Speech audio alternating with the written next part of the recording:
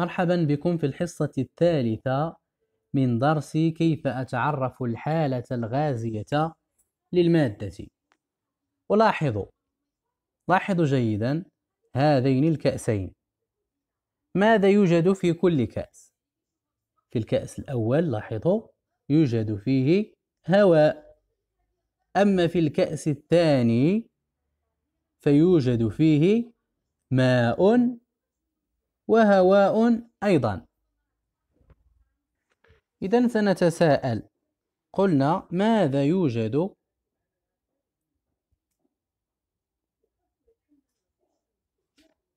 في كل كأس.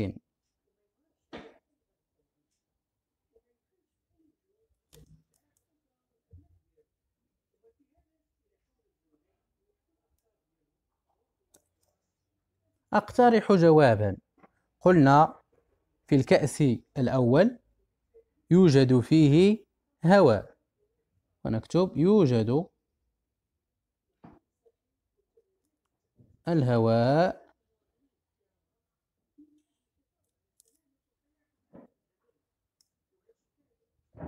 في الكأس رقم واحد. ويوجد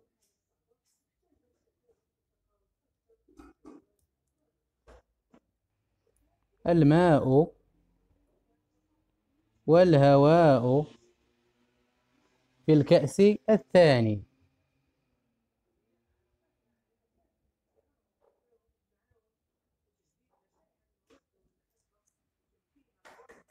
قلنا بأن الكأس الأول لاحظوا هذا الكأس ليس فارغا يعني هو ما فيهش الماء ولكن فيه الهواء. ولكن في الكأس الثاني ماء ملون إضافة إلى الهواء. أنجز. أقوم بالتجربة التالية لإبراز وجود الغاز وأملأ الفراغات بما يناسب. التجربة الأولى غادي ناخذ بريكة ولاعة ونقوم بالضغط عليها ليخرج الغاز. نضغط عليها باش يخرج الغاز. يدل تصاعد الفقاعات في الماء على على ماذا؟ ثم التجربة الثانية غادي ناخذ واحد القرعة. ثم نقوم بوضعها في الماء.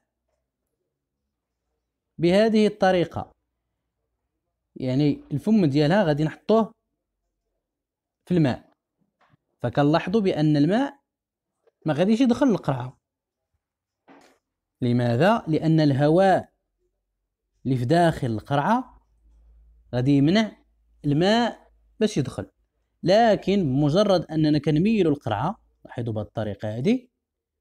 فكنلاحظوا خروج أو انبعاث فقاعات من داخل القنينة.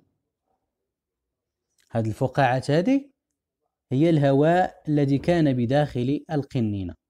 فبعد أن تتصاعد هذه الفقاعات يعني يخرج الهواء سيحل محله الماء وغادي تعمر القرعه بالماء. ثم التجربة الثالثة قام هذا الشخص بالنفخ في الماء عبر أنبوب. خذ هذا الأنبوب وبقى كينفخ في الماء. فماذا نلاحظ؟ نلاحظ تصاعد فقاعات من الغاز. إذا هذه الفقاعات هو الهواء الذي ينفخ هذا الشخص في هذا الأنبوب.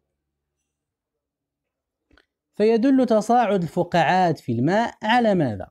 إذا غادي نرجعوا للتجربة الأولى قلنا يدل تصاعد الفقاعات في الماء على وجود ماذا؟ وجود غاز قلنا لأن الولاعة بداخلها غاز ثم التجربة الثانية يدل تصاعد الفقاعات في الماء على وجود هواء إذا قلنا وجود الهواء داخل هذه القنينة. ثم التجربة الثالثة يدل تصاعد الفقاعات في الماء على وجود هواء داخل الأنبوب. أستخلص من خلال ما سبق. ماذا يمكننا أن نستخلص؟ فسنستخلص بأن الهواء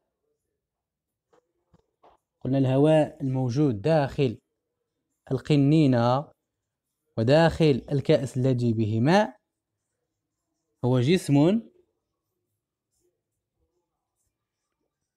غازي غير مرئي. ما معنى غير مرئي؟ يعني ما كنشوفوش. يحيط بنا.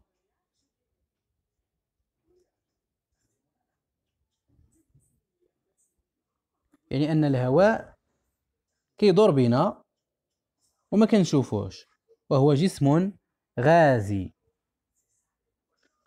أثبت تعلماتي.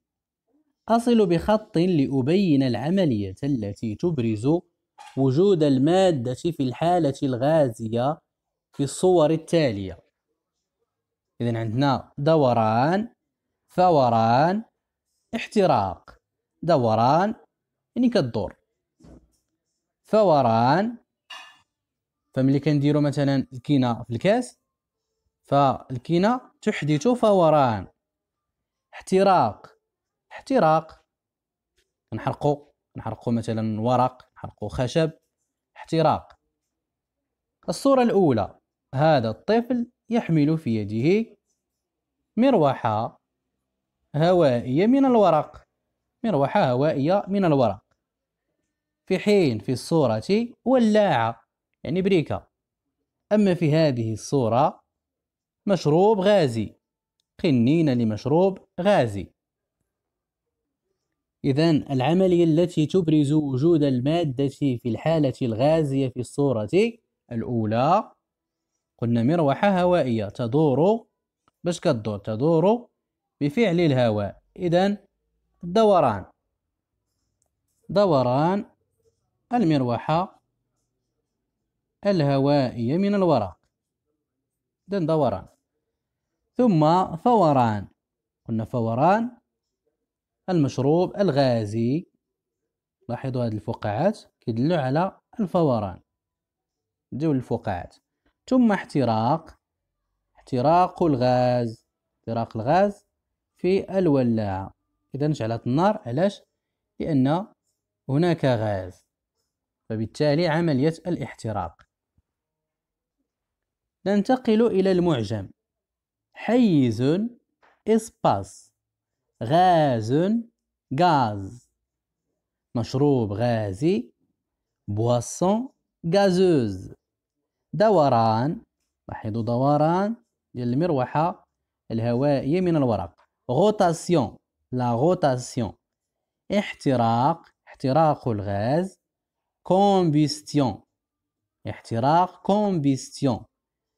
فوران pétillement. فقاعة بول. فقاعات لي بول الفقاعات كتدل على الفوران والاحتراق يدل على وجود غاز لأن الولاعة قلنا بداخلها غاز. أما دوران المروحة الهوائية من الوراق فشكون كيدورها كيدورها الهواء والهواء قلنا جسم غازي غير مرئي يحيط بنا.